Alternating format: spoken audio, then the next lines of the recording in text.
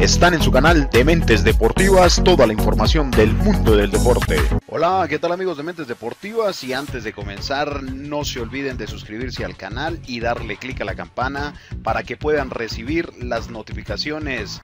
Cristian Romero, Emiliano Martínez, Lou Celso y Emiliano Buendía. Estos cuatro jugadores argentinos tenían permiso de la Conmebol de llegar a Brasil, mientras que el gobierno local afirmaba que los jugadores provenientes de Gran Bretaña tenían la obligación de hacer cuarentena. La Federación Argentina de Fútbol tuvo el visto bueno de la Conmebol para realizar la burbuja sanitaria correspondiente al igual que en la Copa América, pero los empleados brasileños se metieron en el vestuario argentino en la previa del encuentro y esperaron el inicio del encuentro para meterse dentro del terreno de juego. Cuando todo esto ocurría, los jugadores argentinos decidieron volver a los vestuarios mientras que Neymar y sus compañeros permanecieron en el campo intentando hablar con los empleados de sanidad. ¿Qué dice la Conmebol? Por decisión del árbitro del partido, el encuentro organizado por la FIFA entre Brasil y Argentina por las eliminatorias para la Copa del Mundo queda suspendido. El árbitro y el comisionado del partido elevarán un informe a la Comisión Disciplinaria de la FIFA,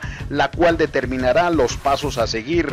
Estos procedimientos se siguen estrictamente a la reglamentación vigente. Las eliminatorias para la Copa del Mundo es una competición de la FIFA. Todas las decisiones que atañen a su organización y desarrollo con potestad son exclusivas de esa institución.